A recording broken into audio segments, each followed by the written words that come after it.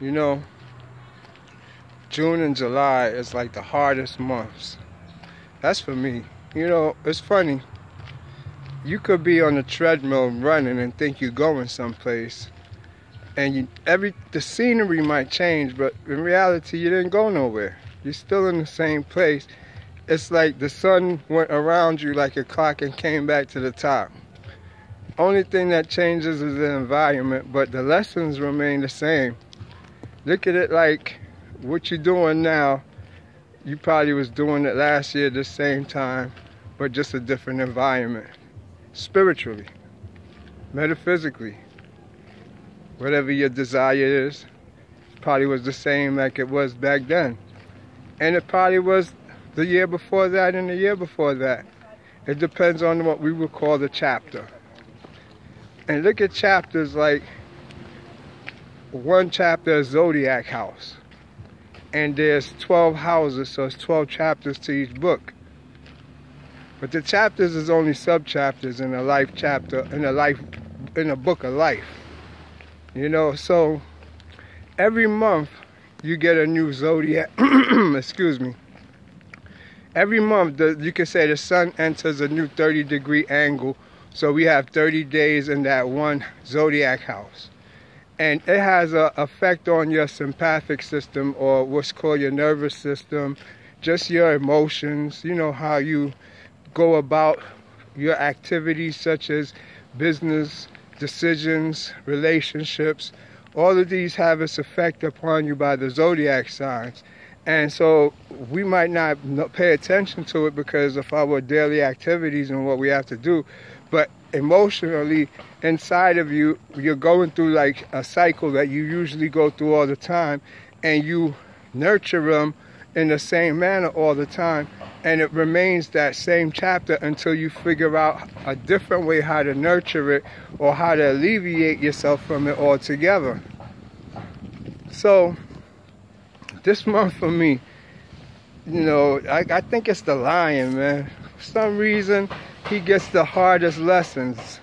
We're looking at now, the lessons, as like a daily thing, meaning that every day you get a different angel to give you lessons. Look at the angels as um, every different day of the week. Monday, we get the, the angel from the moon or the god of the moon, you know, and so forth. They'll keep going for every day of the week. Now, the thing to it is like each one, it got a day lesson, then it got a night lesson. The day lesson will be more of, you could say you go into meditation, you sit in your um, lotus position or whatever, you do your different asanas, meaning you put your body in different um, therapeutic positions and you hold that position for at least 15 minutes, you know, and you just leave your mind blank, stay at nothing those is like you're pulling forces, energies from these planetary bodies into your Merkaba, or what you will call your aura, you know. Just for the record, these things that we take lightly, such as aura, Merkaba, we got to realize the East is a very spiritual place. It always been because that's who our true selves are. We're more soul than we are physical body because of the simple fact you can't die. But we in the um, Western world was never really into spirituality. So we actually um, believe more in like the Bible, true stories, because of our Roman dominion and our so much oppression and abuse that we ourselves have encountered. So you look at it like when a person talks to you about spiritual things or metaphysical things or even mystical things, y'all brush it off very quick and very um, lightly, like, oh, it doesn't mean anything, but it's as powerful as love, falling in love, or being caught up in a habit such as smoking and drinking. Those is the forces that we discuss in the East. And I'm not from the East, I'm from New York, the Bronx, but I'm just saying in that mentality now.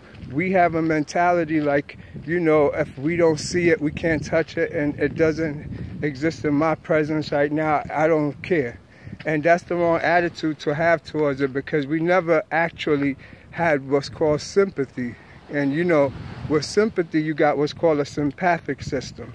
This sympathetic system is more based upon intuition, your abilities of knowing, your soul journey. These are the things that make you get up every day, such as your astral body. Your astral body that when you go to sleep at night, it comes down upon you and it takes away all your feeling of displeasure, regrets. It's also the part that connects you to the soul that time. And most of the time you get a little hot, freaky, get yourself off. So everybody and every part of you have a purpose and a reason, but we never try to figure out what is the reason and what's his purpose.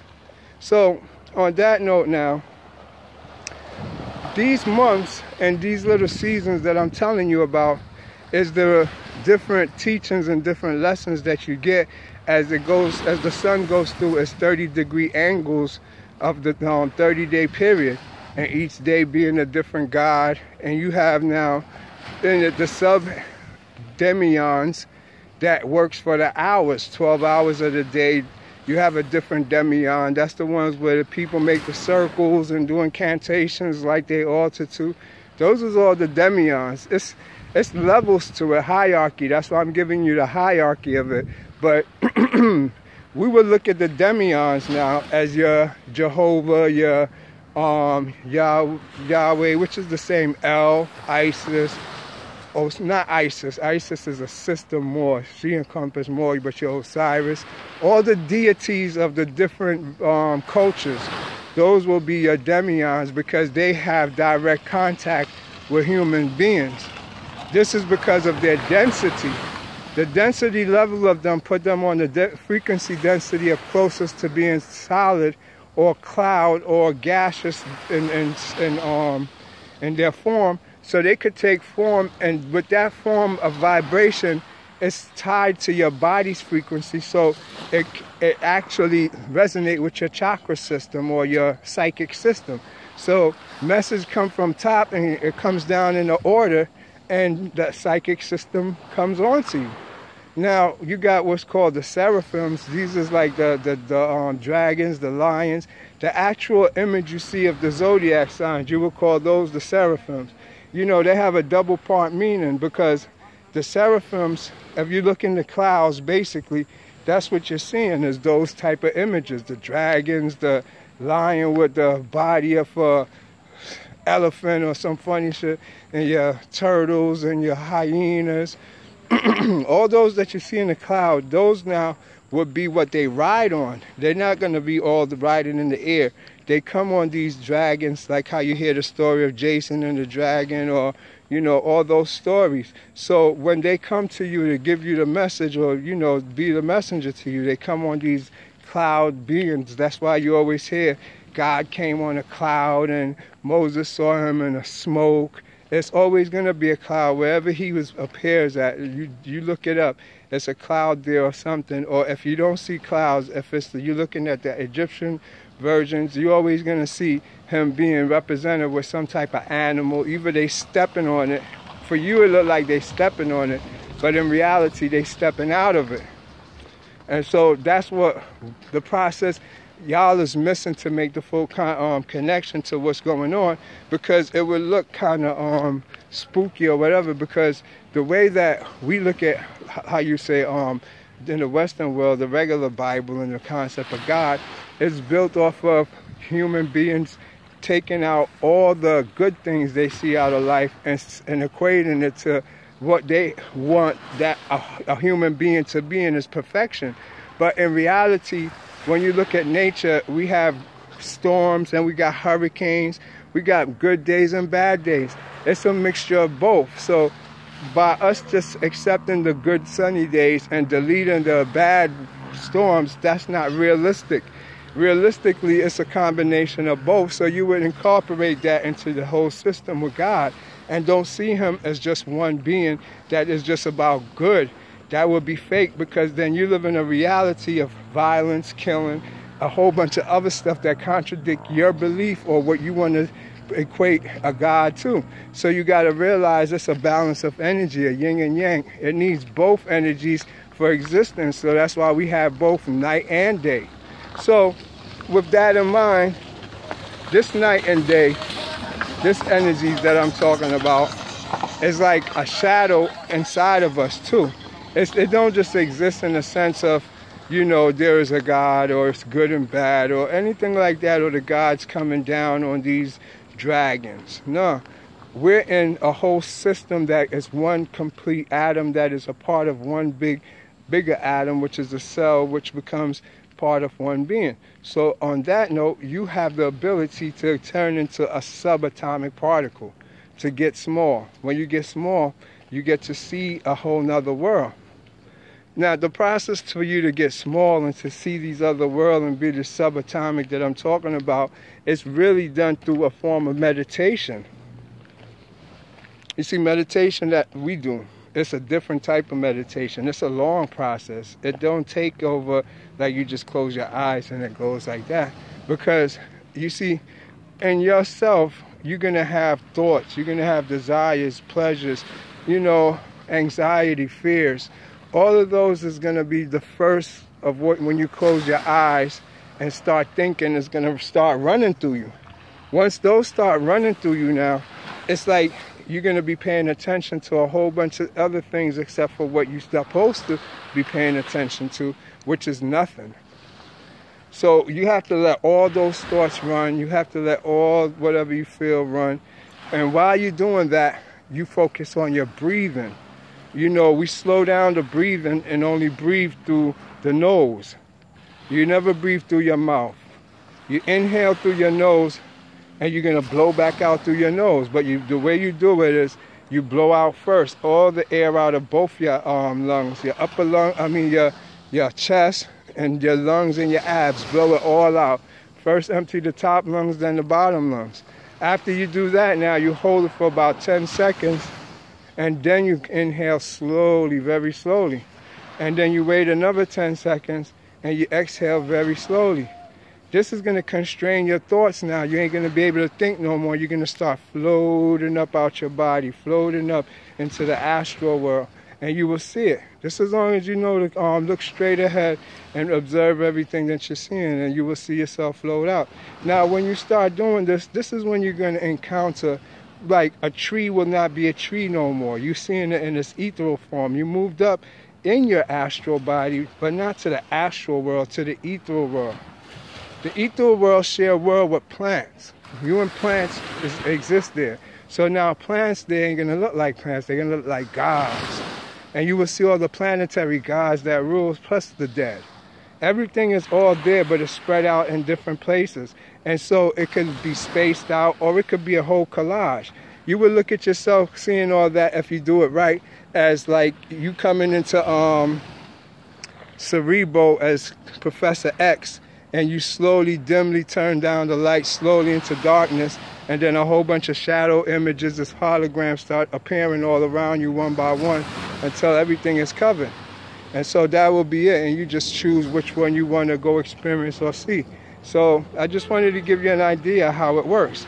So now, this is kind of weird because with it, it's a lot of responsibility. Your life changes a lot. It don't just you go and experience and then you get out of it. It's like it starts changing you and you become more active in your DNA. It activates different strands, but the process now awakens your pineal. So you feel a lot of constrainment, like if somebody taking your head and squeezing it in different direction, a lot of pressure come to your head. All that is different upgrades that take place, and you do it through meditation. You get teachers, if you know what you're doing and you have no fear, you get teachers in there that will assist you, spiritual beings that look like creatures, and they will teach you yoga from Sama to um, Tantra to um, Qigong. All of that, plus Hatha Yoga, Kriya Yoga, they teach you that yourself. So it's like, I can't give it to you out of a book because it's like only way I know that's what I'm doing is because I, I research everything I'm doing and then I see it like oh that's what it is. So like when I hear the story about how Buddha was taught, taught by a spirit on the beach or whatever, Vishnu or whatever, that's resonate with me because that's how mine is. I see these things and they just you just follow them and mimic them. So I'm just giving you a heads up. I don't know if it happening to people yet, but this is what's going to happen. It's happening to me. Everything I give you is from experience only. It's nothing that I'm to tell you out of a book. I use a book to reference what I saw, and that's to verify it so I could bring it to you because I'm not going to make it up. Hello, how you doing? So when I bring it to you, it's because I looked it up. First I saw the image, then I looked it up, and then I bring it to you. Because it'll be true, but you'll never know because it's going to look like true lies. Everything they tell us is like the truth sandwiched between two lies, so we don't know the whole truth. And they dumbing us down on purpose by not giving us real metaphysics, real spirituality. And so we don't know everything. So I bring all this information to you for you to go research yourself. You don't have to take my word for it, but at least it gets your mind thinking and get you going in the right direction. Well, anyway, I'm at my location. We'll finish this later. University of Conscious Science.